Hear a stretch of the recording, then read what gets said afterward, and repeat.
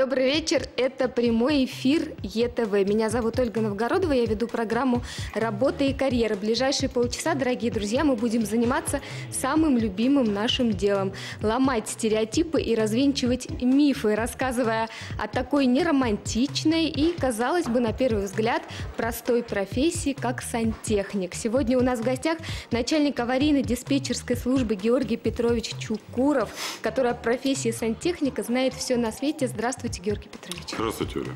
Расскажите, откуда взялся этот стереотип о том, что быть сантехником не престижно, не модно, не интересно, и что нам сейчас делать с этим стереотипом? Ну, стереотип есть стереотип, он как взялся, так и, видимо, уйдет со временем. Вот что-то Но... пока не уходит.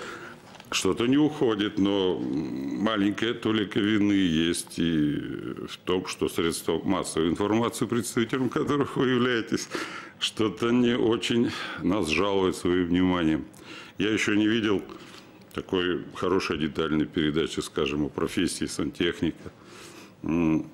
Как-то бы вот пошире осветить эту ситуацию, что сейчас уже сантехник – это не тот человек, который в полупьяном состоянии с большим ключом номер три ходит. Ага, значит. вы сказали, что сейчас уже. Значит, раньше были полупьяные с большими ключами. Не ловить меня слове, конечно, были.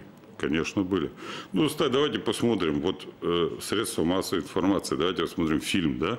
На моей памяти только один фильм Данелли, это «Афоня», в 1975 году снятый, 1975 который показывает, так сказать, образ сантехника. Да и то я бы не сказала, что этот образ очень положительный. Совершенно верно, если, так сказать, по этому фильму слоган провести, ну, плохой, хороший человек, да, как бы так получается.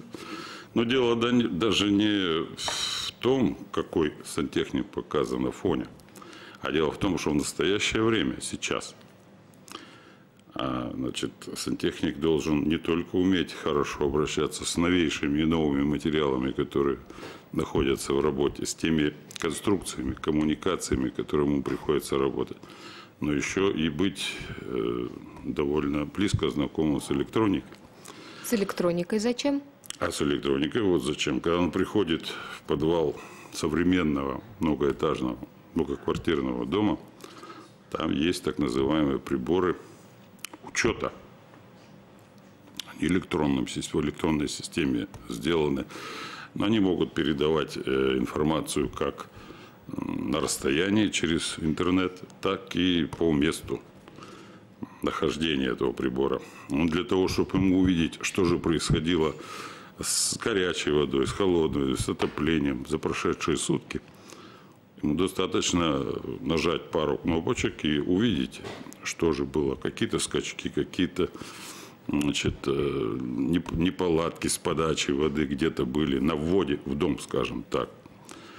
Ну вот, для того, чтобы это все увидеть, нужно уметь пользоваться прибором. Нужно какое-то специальное образование для того, чтобы стать хорошим, профессиональным, зарабатывающим сантехником? Высшее, среднетехническое? Ну, для того, чтобы вообще быть хорошим специалистом, надо образовываться всю жизнь. Это естественно. И не гнушаться, и не бояться учиться постоянно, везде и у всех. Ну, что касается необходимости сантехнику иметь высшее образование. Я, конечно, такой необходимости не вижу. Угу. Да и если посмотреть так, по большому счету, у нас в России высшее образование, половина из них не из людей, которые получили высшее образование по своей специальности не работают. Согласитесь, что действительно так. Да и высшее образование не показатель не профессионализма. Совершенно верно. Что же касается технического образования, ну, да.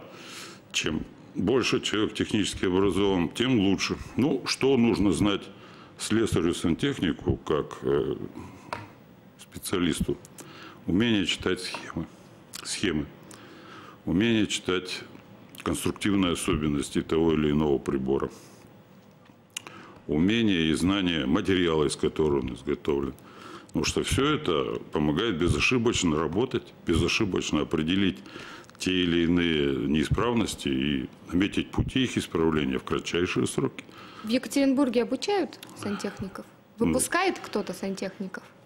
В Екатеринбурге и в других городах России, наверное, э, раньше существовала довольно строгая и стройная система профтехобразований, которая выпускала специалистов, способных работать в этой отрасли. И многие из них оставались и работали.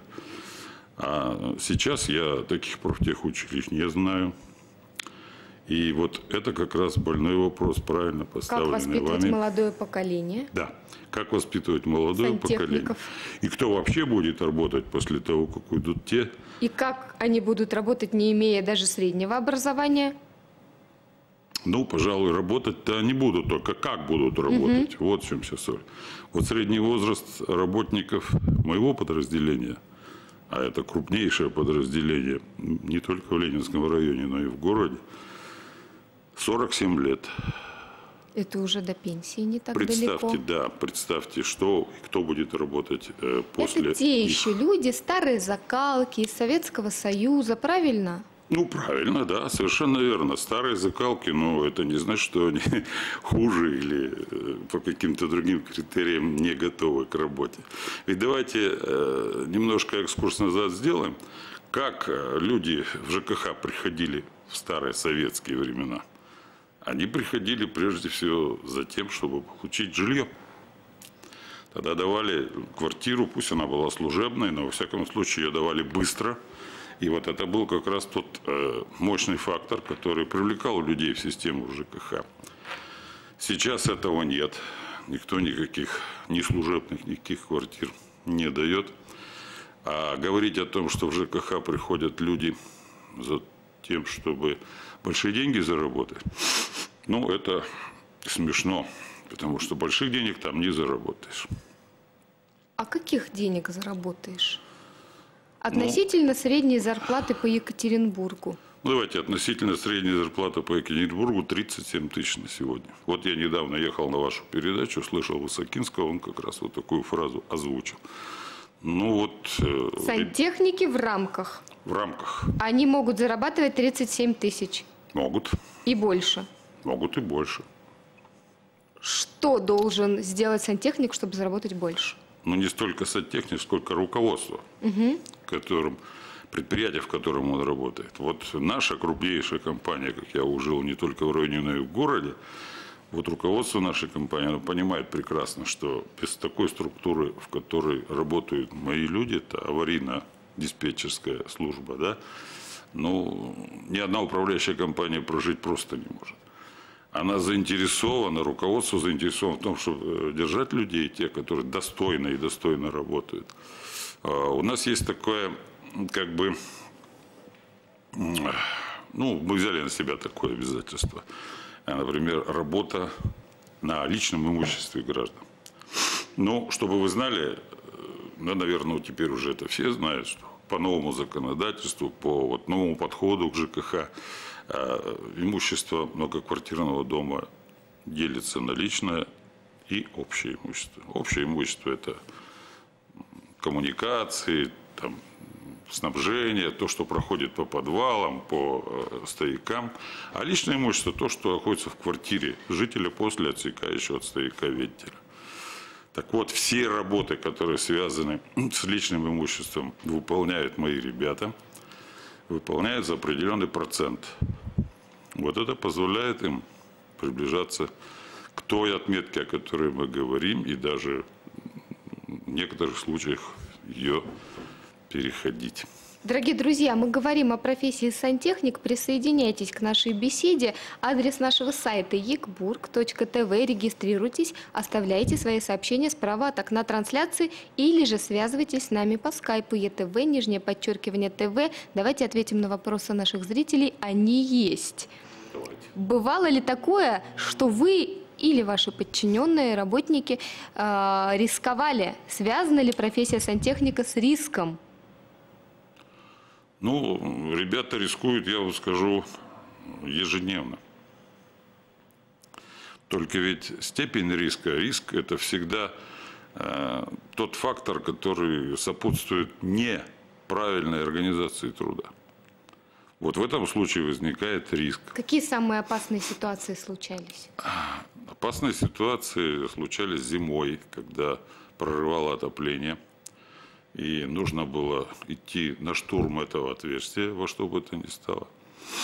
Дойти до задвижки, которая перекрыла бы и дала возможность, э, так сказать, ликвидировать ситуацию. Не всегда есть возможность вызывать э, другую службу, которая занимается поставкой, да, вот, и чтобы она перекрыла у себя в камере. Это долго, на улице мороз, это может отразиться на отопительных системах дома и потом привести к нежелательным последствиям. Иногда приходится делать так, чтобы, значит, э, накидывать какие-то кошму, там что-то другое, чтобы пройти до той задвижки, чтобы можно было закрыть. То есть определенный риск есть. Но риск минимальный, если человек опытный. Угу. Кстати, про опыт. Идет ли молодежь в эту профессию? Молодежь в эту профессию не идет. Может быть из-за того, что какой-то ореола, какого-то героизма, какого-то э, другого фактора не чувствует. Может быть потому, что нет примера достойного, чтобы можно было пойти. Потому что, ведь как получается, человек вот домой приходит, да, житель, у него тепло, светло, водичка есть. Он даже не вспоминает о том, что есть такая служба ЖКХ. А вот когда с ним что-то происходит, не с ним, вернее, в его квартире, вот тогда он начинает вспоминать, что есть же слесаря, есть же дежурные службы, есть же к ним нужно обращаться. Но он уже настолько нагрет, что авторитетом, даже если его маленький сын там где-то сидит и видит всю эту ситуацию, то, естественно, авторитетом уже вряд ли можно сказать, когда он вызывает аварийную машину, она приходит и начинается ремонт вот этой какой-то там определенной неисправности. Э, Все это связано, конечно, с нервами, Поэтому нервная профессия. Нервная профессия. Каждый нервная вызов. Профессия. Каждый вызов это ситуация, которая не должна была бы быть, по идее, да? Но каждый вызов это срочно, это на нервах, это на эмоциях. Каждый вызов это срочно, разумеется.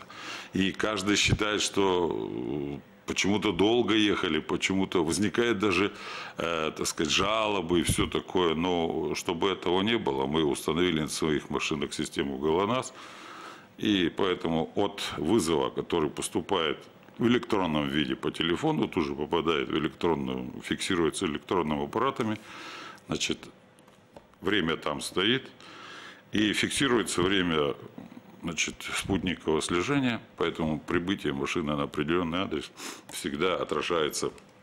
Какое время максимально допустимое? Ну, это зависит еще от времени суток.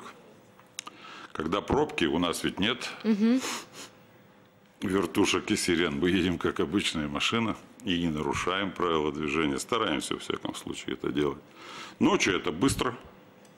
В районе, значит, э, скажем, от э, базы до э, центра города и дальше это значит, в течение 17-20 минут. Угу. Днем, когда приходится это делать, значит, это гораздо дольше. Но днем нас прикрывает подрядчик, который работает по обслуживанию домов. Там свои слесаря. И если мы едем помогать, то мы едем помогать не в авральном режиме, а просто как... В рабочем порядке. Да, в рабочем порядке. Скажите, у нас на